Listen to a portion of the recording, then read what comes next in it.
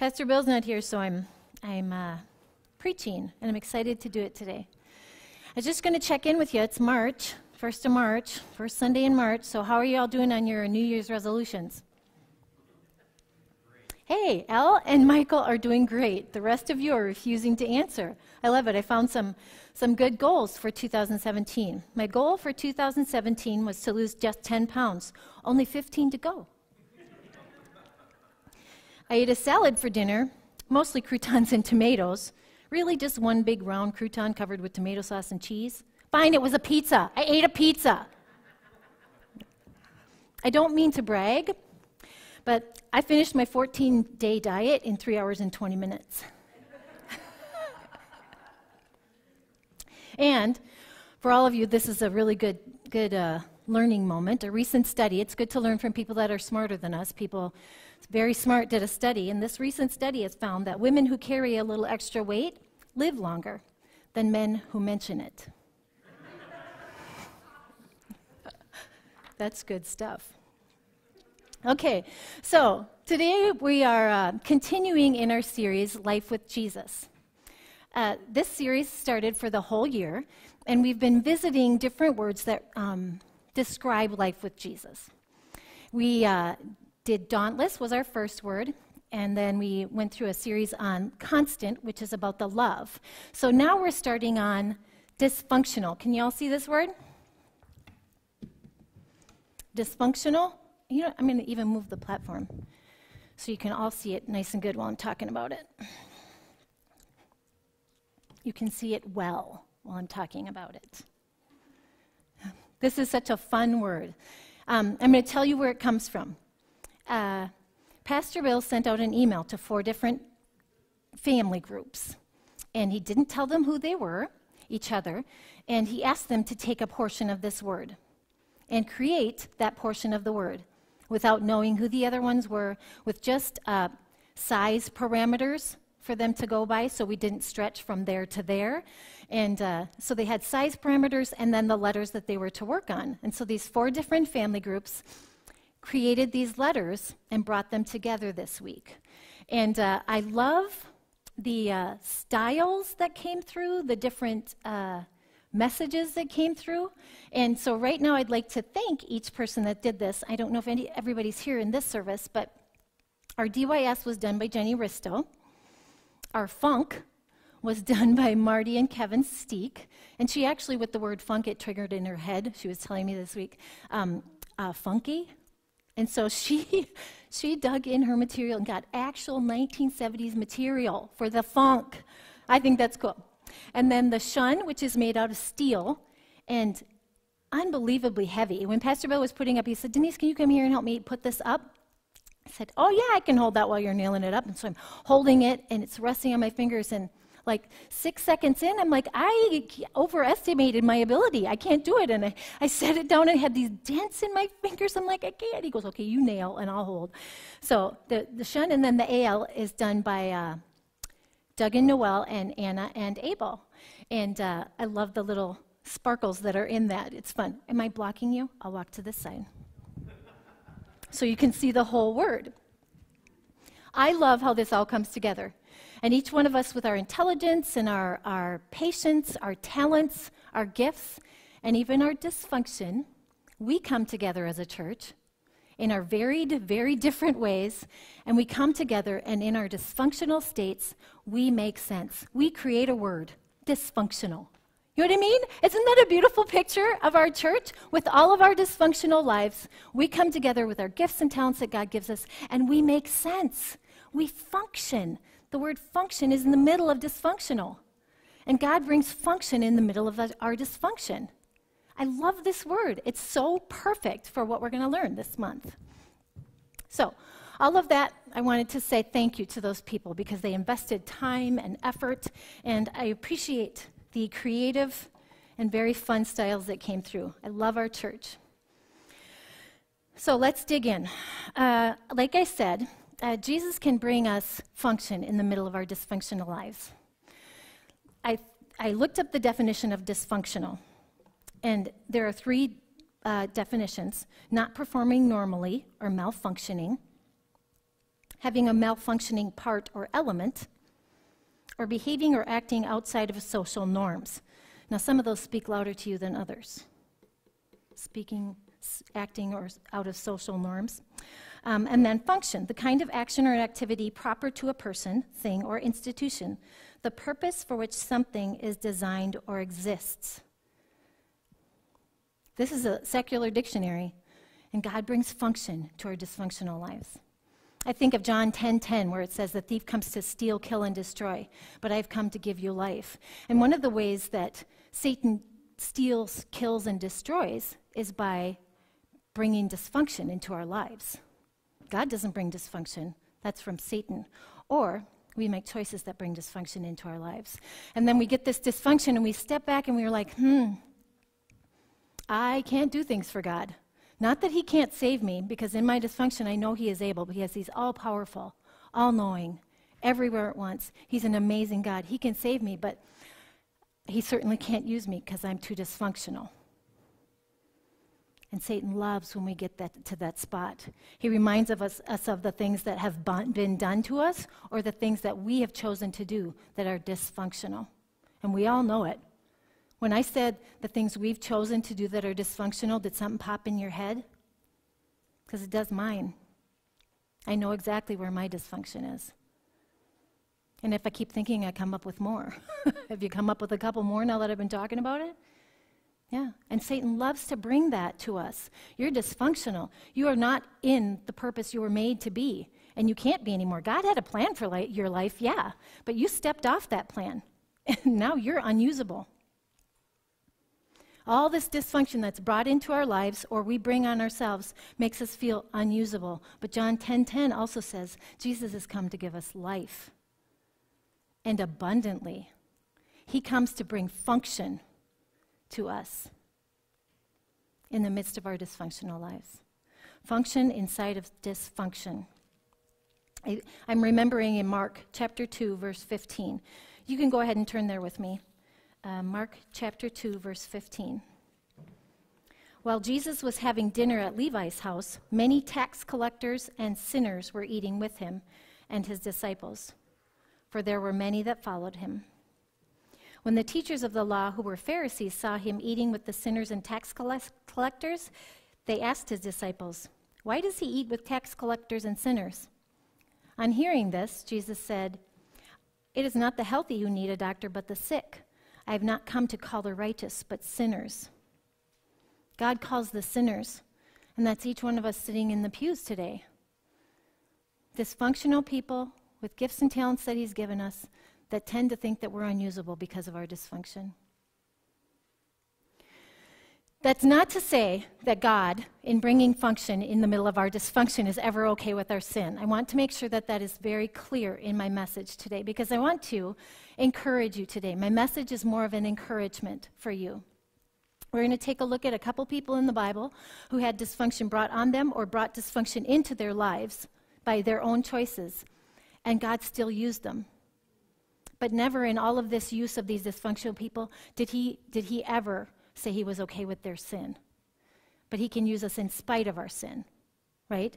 And we're, we are, as Christian believers in God, we are striving for perfection of our lives. We never attain it because perfection isn't for us until we get to heaven, but we are striving for perfection, knowing that we make mistakes along the way, knowing that in all of our dysfunction before we meet Jesus, there's still going to be dysfunction after, but He can use us even when we're in our dysfunctional existence okay? Never saying that God is okay with our sin. I want to make sure that's clear. So let's jump into our first character that I want to touch on today. And our first character is Moses. So let's turn to chap- uh, Exodus chapter 2. And I'm just going to give you a background story while you're turning there to Exodus chapter 2. Um, Joseph had come to Egypt he was in charge of all the land. All of his brothers, his father, came to Egypt because there was a famine, so they came looking for food. And because Joseph was there, he stayed. That's where the Israelite nation comes from. They stayed in Egypt and then they began to multiply. Be fruitful and multiply, and they took it to heart. So they started getting more and more in number, and the king in Egypt at the time of Joseph had passed away. And so the new king, the new Pharaoh, had not remembered Joseph. And his advisors said, Look, the Israelites are getting very numerous, and if we don't suppress them now, eventually they're going to take over our country. So we need to enslave them to keep them down. Okay? So the people, the Hebrew nation, was put into slavery, a horrible, cruel slavery. And uh, they were still multiplying. They were still growing. And so Pharaoh, the king at the time, said, Midwives, you're going to have to kill the baby boys. We've got to stop the spread of these people. We want to keep them as slaves because they're very profitable for us, but we want to keep the uh, numbers down. So I want you to kill all the baby boys. And uh, uh, the midwives feared God. They were like, no, we're not going to do that. And so they didn't. They didn't kill all the baby boys. And uh, so one lady, she gave birth to a son and she hid him. The midwife didn't kill him, and she hid him for three months, and then he got too old to hide. And so she put him in a basket in a river and watched from the reeds. And I don't know if God told her to do this. I don't, I don't, uh, I can't picture putting my baby in a basket in a river and just waiting to see what happens. But I must assume that God told her to do this. And when she did, Pharaoh's daughter saw him floating in the river.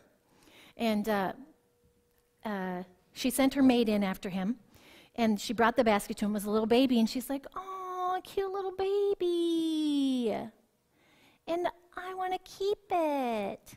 It's like with a puppy, but don't do it with a puppy. I got a puppy. Don't do it. Way, way too much work, and they're not. as they're a puppy. You know what I mean? So don't do it with a puppy. Anyway, she's like, oh, this cute little baby. I want to keep it. And so the little girl that was watching the baby Moses in the river, she ran up to her and said, Do you want somebody to nurse the baby until he's old enough to not be nursed anymore? She said, Yes, I'd love that. So Moses' mom got to nurse him while he was getting old enough to not be nursed anymore, which I think is a fabulous part of the story. But let's jump into Exodus 2. Exodus 2, verse 10. Later, when the boy was older, his mother brought him back to Pharaoh's daughter. So the mom had nursed him until he was of nursing age is done. And then she brought him back to Pharaoh because that was the deal. She wasn't supposed to be his real mother. She was just nursing him until um, he was done, and then she brought him back to uh, Pharaoh's daughter. And she adopted him as her own son. The princess named him Moses, for she explained, I lifted him out of the water. Pharaoh's daughter adopted this little Hebrew, Hebrew boy. Talk about dysfunction. He's a little Hebrew slave boy being raised in a palace two completely different cultures, absolutely at odds with each other. He's from one and lives in another. Moses' life started in serious dysfunction, right? He was, they were trying to kill him. Serious dysfunction because he's from one world, living in another, and he's watching the other world. It's not like he just moved uh, to France to live in a palace. He stayed right in Egypt where his people were being abused, enslaved, beaten, tortured, made to work. And so he's in the middle of this huge dysfunction. Let's join him as he's a few years farther down the road in Exodus chapter 2, verse 11. Many years later, after being raised in the palace, when Moses had grown up, he went out to visit his own people the Hebrews, and he saw how hard they were forced to work. During his visit, he saw an Egyptian beating one of his fellow Hebrews. After looking in all directions, picture this, people. After looking in all directions to make sure no one was watching, Moses killed the Egyptian and hid the body in the sand. The next day, when Moses went out to visit his people again, he saw two Hebrew men fighting. Why are you beating up your friend? Moses said to the one who had started the fight. The man replied, Who appointed you to be our prince and judge? Are you going to kill me as you killed that Egyptian yesterday? Oops. You looked in all directions, but you missed somebody there, Moses.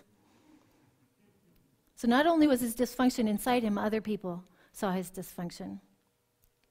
Are you going to kill me as you killed that Egyptian yesterday? Then Moses was afraid thinking everyone knows what I did. And sure enough, Pharaoh heard what had happened and he tried to kill Moses.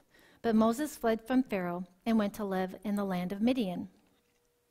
I picture Moses when he went out to visit his people, this passion that had started stirring in him. God was placing a passion for him to lead his people, give him a desire to free them. God had a plan and a function for Moses' life. In the middle of the dysfunction of being from two different worlds, colliding together, God had this plan stirring. And then Moses lost it. He gave in to this anger or pride or whatever it was, and he killed a man. And all of a sudden, the dysfunction that was brought upon him, he brought on himself more dysfunction. And he's like, uh oh, gotta run. And he runs into the desert to hide. And he stays there for 40 years. He, he, got a, he took a wife, he had children, he created a life for himself out in the desert because he was dysfunctional. God had placed this, this purpose in him, this function in him. And in whatever dysfunction happened, he ran. So he created this life for 40 years in the desert, but I am guessing he never forgot about the dysfunction in his life. That day never passed from his mind or his memory where he killed an Egyptian. So he's just going along in his life, just going along and uh, tending his sheep or his goats, whatever they do in the desert. And uh, he sees a burning bush. And he goes over and investigates. And I'm sure you all are familiar with this song, where out of the bush, God talks to Moses, rekindling this fire, this passion inside of him to free his people. But Moses, if you know the story, feels so dysfunctional. He's like, oh, but what if they don't believe me? Well, then you can do this. You can throw your rod down and it'll turn into a snake. But what if they don't think you sent me? Well, then stick your hand in your coat and pull it out. It'll be full of leprosy. And then stick it back in and it will disappear. Oh, but so he's making all these excuses. I can't. I'm too dysfunctional. I know you have this function. I felt it back 40 years ago. I felt that function in my life, that purpose, the plan you had for me. But I screwed up. How can you still use me? So let's jump into this conversation with, between Moses and God. Exodus chapter 4, verse 8, we're going to start in. So Moses is coming up with all these excuses why he can't. He's too dysfunctional, God. I know you have a function. You have a purpose for my life, a plan, but I can't. I'm too dysfunctional. And the Lord is very patient with Moses, very patient. The Lord said to Moses, If they do not believe you and are not convinced by the first miraculous sign, they will be convinced by the second sign. And if they don't believe you or listen to you even after those two signs, then take some water from the Nile River and pour it out onto the dry ground. When you do, the water from the Nile will turn to blood on the ground.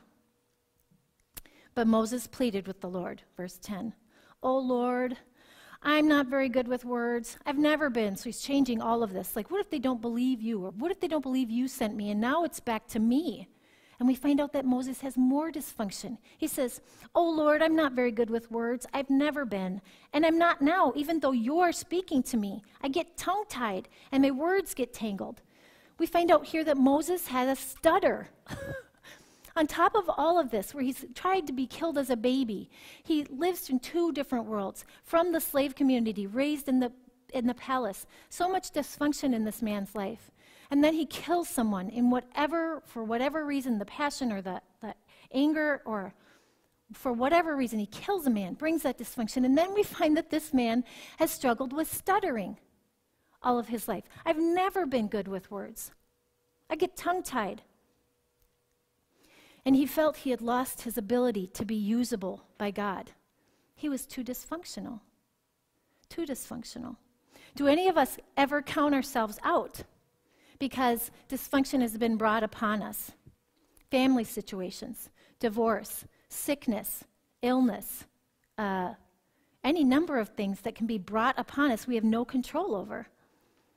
And we count ourselves out or unusable because we're too dysfunctional to have a function.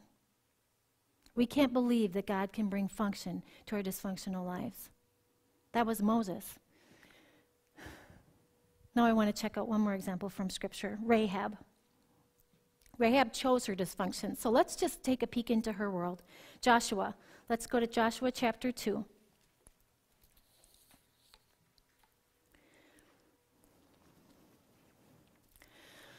The background on this story is the Israelites were coming out of slavery, and uh, Moses, Moses didn't come into the promised land. Joshua was, was now leading the Israelites in the promised land, and they were to conquer the land of Canaan. Um, They had heard stories of Jericho and its fortified cities, and so Joshua, the leader of the Israelites, uh, had a game plan. So let's join him in his game plan here. Joshua 2. Then Joshua secretly sent out two spies from the Israelite camp at Asai, Asai Grove. He instructed them scout out the land on the other side of the Jordan River, especially around Jericho. So the two men set out and came to the house of a prostitute named Rahab and stayed there that night. Verse 2. But someone told the king of Jericho, Some Israelites have come here tonight to spy out the land. So the king of Jericho sent orders to Rahab Bring out the men who have come into your house, for they have come here to spy out the whole land. Rahab had hidden the two men, but she replied, Yes, the men were here earlier, but I didn't know who, where they were from. They left the town at dusk as the gates were about to close. I don't know where they went. If you hurry, you can probably catch up with them. Actually, she had taken them up to the roof and hidden them beneath bundles of flax she had laid out. So the king's men went looking for the spies along the road leading to the shallow crossing of the Jordan. And as soon as the king's men left, the gates of Jericho were shut. Before the spies went to sleep that night, Rahab went up on the roof to talk to them. I love this part. She's a prostitute in the city of Jericho, a godless land, and uh, she makes this proclamation to them I know the Lord has given you this land. She told them, We are all afraid of you.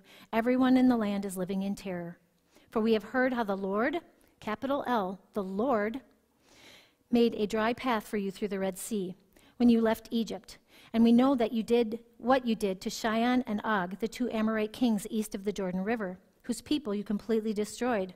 No wonder our hearts have melted in fear. No one has the courage to fight after hearing such things. Can you imagine the encouragement these two spies felt? She's telling them, everybody in the city is afraid of you. Our hearts are melting in fear because of the Lord your God, capital L. She also goes on to say, For the Lord your God is the supreme God of heavens above and the earth below. Now swear to me by the Lord that you will be kind to me and my family since I have helped you.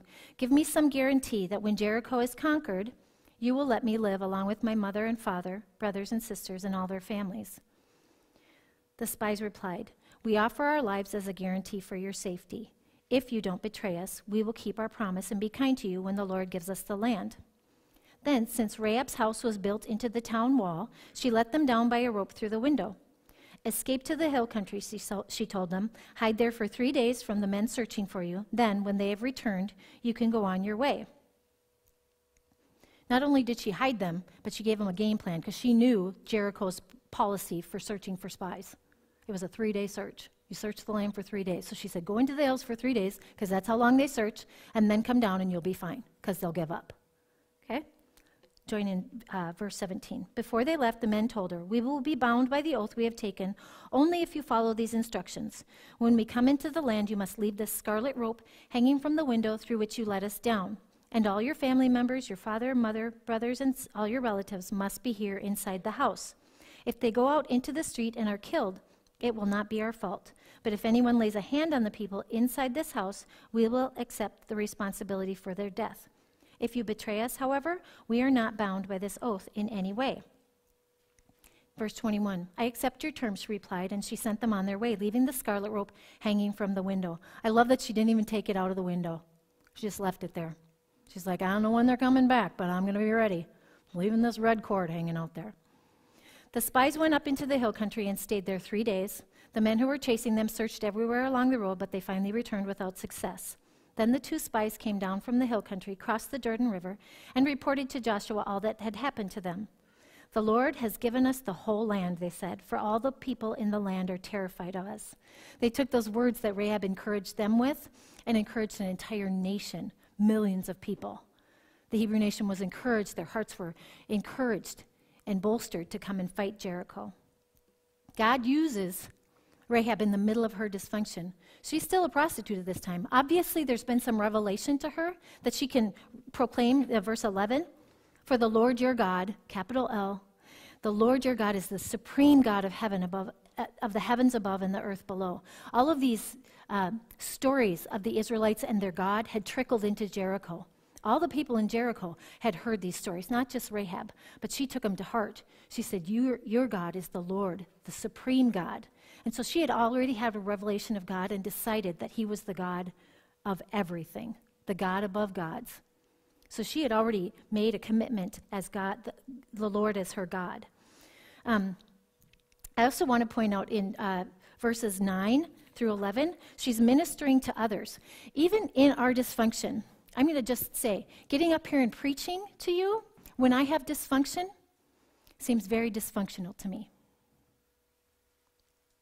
To preach on something where I don't feel like I have it mastered and I'm supposed to teach it to you, if you're a math teacher, you, you've mastered your math problems before you teach it to people, to the students in your class, right? You understand the math, you understand it, and teach it to them. Functional, it's good. You have mastered math to teach math. But everyone here has dysfunction. And so, for me to step out and encourage you that in your dysfunction, God can bring function, He's doing it right now in me. Because I still walk in dysfunctional, my dysfunctional life. Hopefully, I'm getting better, making strides towards perfection. I had 157 things to work on last week, and maybe I have 156 this week. Maybe some weeks it goes up to 292, depending on the week. But hopefully, I'm still working on my dysfunctions, even though God has placed a function in me to bring to, to you today. That in our dysfunction, we can encourage others. So let's join uh, the story of, of Rahab and just see how this ends. I love this story, it's, it's fun. So jump over to Joshua 6.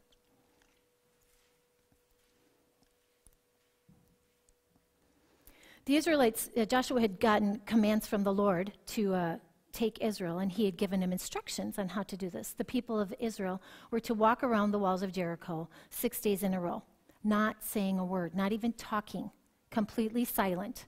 They're supposed to do this for six days. And so the people of Israel follow what God told them to do. So we'll jump into Joshua 6, verse 15. On the seventh day, the Israelites got up at dawn and marched around the town as they had done before. But this time, they went around the town seven times. The seventh time around, as the priests sounded the long blasts on their horns, Joshua commanded the people. So the seventh time around, they were supposed to make a whole lot of noise. Okay? I want you to notice what happens in the middle of this battle cry. I had never seen this before. In the middle of a battle cry, Joshua commands the people Shout, for the Lord has given you this town. Jericho and everything in it must be completely destroyed as an offering to the Lord. Only Rahab, the prostitute, and others in her house will be spared, for she protected our spies. Right in the middle of this battle cry, he talks about Rahab again. Rahab, the prostitute. She never loses the title all the way through. Her dysfunctional life is shouted part of part of this battle cry, a triumphant conquering of the enemies of Israel. Do not take anything of the things set apart for destruction, or you yourselves will be completely destroyed, and you will bring trouble on the camp of Israel. Everything made from silver, gold, bronze, and iron is sacred to the Lord and must be brought to his treasury. When the people heard the sounds of the ram's horns, they shouted as loud as they could. Oh, can you hear it? A million people shouting as loud as they could. Suddenly, the walls of Jericho collapsed, and the Israelites charged straight into the town and captured it. Here's just a little, I love visuals when I'm telling a story. And so you understand that the walls of Jericho were thick enough to have homes in them, right? Tall enough to protect, and yet thick enough to have homes in them, wide. So if this tall, wide wall just falls in, you still have a tall, wide wall, right? But the scripture says, Suddenly the walls of Jericho collapsed, and the people charged straight in. They were standing on ground, and they went straight in. How do you do that except for God? That's just a little side note. In my head, that's so cool. These walls, you don't just think of them falling over, they're decimated, just decimated. Okay. Uh, they completely destroyed everything in it with their sword men, women, young, old, cattle, sheep, goats, and donkeys. And meanwhile, Joshua said to the spies, the two spies, Keep your promise. Go to the prostitute's house and bring her out along with her family. Let's The men who had been spies went in and brought Rahab out, her father, mother, brothers, and all the relatives who were with her. They moved their whole family to a safe place near the camp of Israel. Verse 25. So Joshua spared Rahab the prostitute. There it is again. Rahab's dysfunction. But her function was good, wasn't it? God used her. She didn't say, you know what, I'm a prostitute. I know you're the Lord God, but I can't hide these people because I'm a prostitute and they are your people. I can't be used. Rahab the prostitute and her relatives who were with her in the house, because she had hidden the spies Joshua sent to Jericho, and she lives among the Israelites to this day. She's still there. I mean, not now, but she's still there when they're writing this, uh, this book, the book of Joshua. She still lives with them today. That to me tells me that she changed her life. She changed her lifestyle. She took a husband and had children. There's evidence that she's in the line of Christ, the lineage of Christ, which is amazing. In her dysfunction, God brought function. So, this is what I want to bring to you today. Do you have a dysfunction in your life? Perhaps like Moses, one that was brought upon you, a family dysfunction one that you did yourself that you were so ashamed of. I doubt many of us have killed people, but our words can kill. Do you feel maybe that you've gossiped so much about somebody that when somebody gossips to you, you couldn't, you couldn't possibly say, you know what? I don't want to hear that. I'm done gossiping. It's wrong, and I'm going to stand up for it now. Do you feel guilty because you've gossiped so many times? Or do you know that in your dysfunctional lifestyle, God can come in, change you, and put function in you? Maybe you have a physical issue that you think, hmm, I can't be used by God anymore. I can't be used by God. I stutter. I got cancer. I'm just going to curl up. I, uh, I have too many physical restraints on me. I can't be used by God. I've lost my function. I'm now in a constant dysfunctional state. Or maybe you're Rahab, where you've chosen a whole life full of dysfunction. And in that, you say, hmm, God could never use me. I know He's God, and I know He can save me. I know He's all powerful, but I'm too dysfunctional. I'm too dysfunctional for God to bring function to my life, to bring purpose, to be able to use me. Search those things out. I want to encourage you. Hebrews 11, chapter 11, verse 31. I I, growing up in the church, I know that Hebrews 11 is kind of quoted as our Hebrews Hall of Faith. Not the Hall of Fame, but the Hall of Faith. And so all these people in Scripture are listed in here for their great faith. Like Abraham and Moses, of course, and all these great names. And in there, Hebrews 11, verse 31, we see Rahab. It was by faith that Rahab the prostitute was not destroyed with the people in her city who refused to obey God, for she had given a friendly welcome to the spies. So it was by faith. So there was a little something inside of Rahab as she chose to believe in God, her faith, that God said, Yep, let me use that. Let me use that little something inside of you to do great and mighty things. Here's the function I have for you do. What's that little thing inside of you? All the dysfunction that's in our world. we live in a very dysfunctional world. We have a, most of us have dysfunctional families. I don't know if there's a really non dysfunctional family ever. And if you think you're not dysfunctional, that's probably your dysfunction. I don't know. I think I've struck a chord. All of us in our dysfunction can have a function. It's not what we do or what we've done, but it's God in us that makes us able and usable. So today I want to encourage you. Whatever you have inside of you, let God use it, despite your dysfunction. Not that God is ever okay with our sin. Never. Never okay. God was not okay with Rahab's lifestyle. God was not okay with Moses killing a man. But in our dysfunction, God can bring function. So I'm hoping you can open your hearts to find that something inside of you that God wants to use you for.